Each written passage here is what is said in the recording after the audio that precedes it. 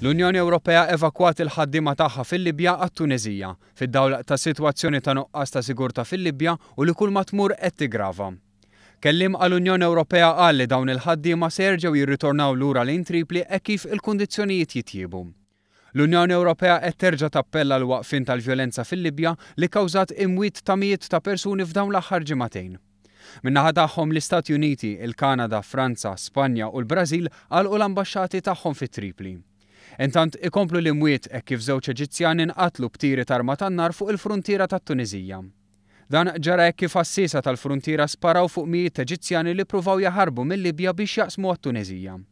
Dan minħabba li t-Tuniżija hija waħda mill-ftit rotot li kien għad baqa' biex ir-residenti u l-barranin jaħarbu mill-ġlied li hemm fil-Libja. Dawn l-Eġizzjani kienu qed jagħmlu protesta minħabba li l-għassiesa Libjani għalqulhom il-kanċelli biex ma jgħaddux. Sigħat wara, dan l-inċident kien irrapportat fuq l-istazzjoni nazzjonali tat-Tuniżija li dan il-pajjiż se jagħlaq il-fruntieri. Sadanittant, il-maġġoranza tal-ajruporti Libjani jinsabu magħluqin wara l-attakk li seħħ fuq l-ajruport internazzjonali ta' Tripli ġimagħtejn ilu. Attakk li jitqies bħala l-eħrex wieħed wara l-waqgħa tar-reġim ta' Gaddafi. Il-Ministeru għas-Saħħa Libjan qal li minn meta seħħ l-attakk fuq l-ajruport, in-numru ta' nies mejta kważi jilħaq il-200 persuna.